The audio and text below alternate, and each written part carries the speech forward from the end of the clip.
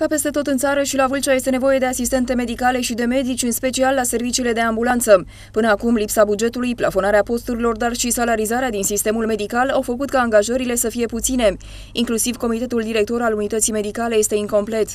Deficitul de personal este nu neapărat cel de anul trecut, este cel moștenit în urmă cu șapte ani, când atunci au avut loc niște tăieri de posturi de la nivelul serviciului nostru. În momentul de față, prin aprobarea bugetului, probabil că vom scoate și noi la concurs posturile care în momentul de față sunt vacante. Și cu siguranță va, vom începe scoaterea la concurs a posturilor din comitetul director. Aici vorbim de director medical, director economic, director tehnic și asistent șef. Undeva sperăm cât mai repede, în decurs de o lună de zile. Pentru o foarte lungă perioadă de timp s-a lucrat într-o stare de interimat.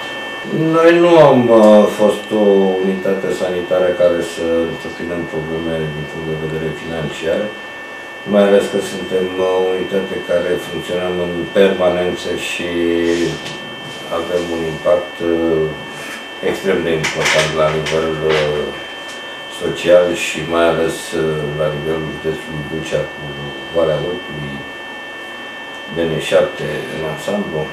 Din punctul ăsta de vedere am stat foarte bine până în momentul de față și cred că va fi în regulă și de aici înainte.